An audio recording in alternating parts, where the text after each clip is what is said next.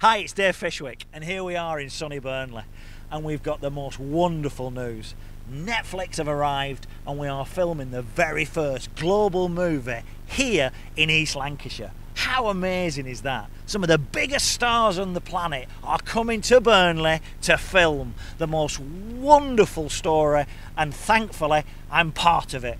And my dear friend Piers Tempest is here. He is the producer. He's made tons and tons of movies all over the globe, and he's going to have a chat to us today. How did all this happen?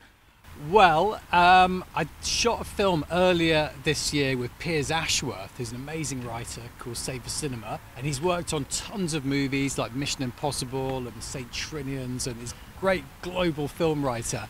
And he showed me the script of Bank of Dave, and I was like, oh my god, this is like 20 minutes from where I live what a great story but I think it's going to resonate worldwide.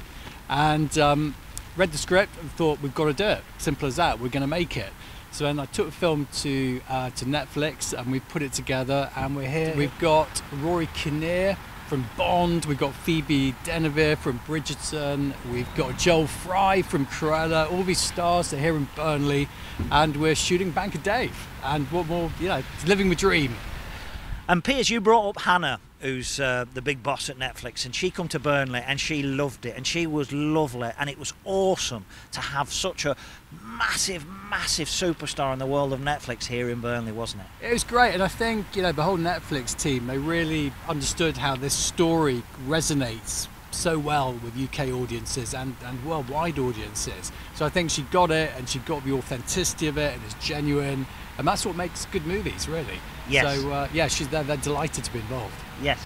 And lots of people have tweeted saying, I'm joining Netflix so I can watch the movie. Exciting thing is, I mean, we're making this film for a worldwide audience. So this is going to be in, on screens in America, in China, in Latin America, and everywhere. So it's really going to put Burnley on the map globally.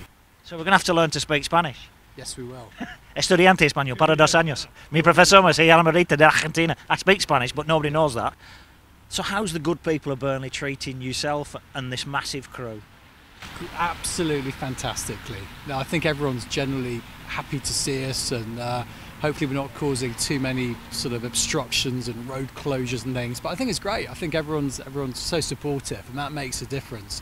It's quite, you know, it's hard work making a movie. Yeah. So it's uh, having everyone's support is a big, big thing for us.